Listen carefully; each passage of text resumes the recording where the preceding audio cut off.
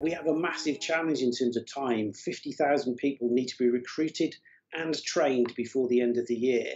And that's a challenge that I think for all of us is, is just simply unachievable at this stage.